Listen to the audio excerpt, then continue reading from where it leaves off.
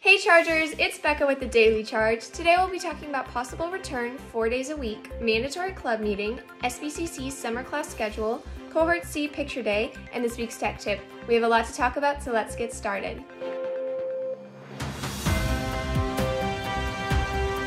The school district board is going to take a look at proposals to have cohort A and B combine and have students go back four days a week. The plan is they will still be having Wednesdays on Zoom, and teachers will be asked to move their office hours to that day.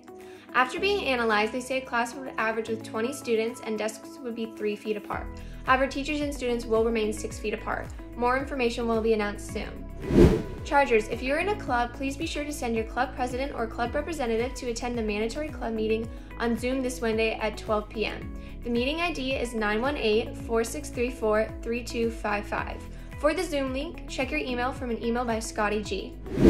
If you are interested in taking any SBCC classes this summer, the schedule is now available. Make sure to complete all the steps to register at least 7 to, da- 7 to 10 days before your registration date to make sure all your forms are processed in time.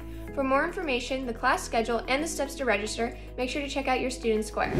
If you are in cohort C, you're invited to come to school on campus from 7:45 to 8:45 on Thursday, April 9th.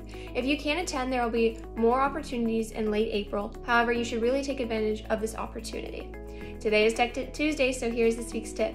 Hey DP, if you ever need to find a keyword or phrase quickly on a document or article, use the keyboard shortcut Control F and type the keyword or phrase and it'll show highlighted on the screen.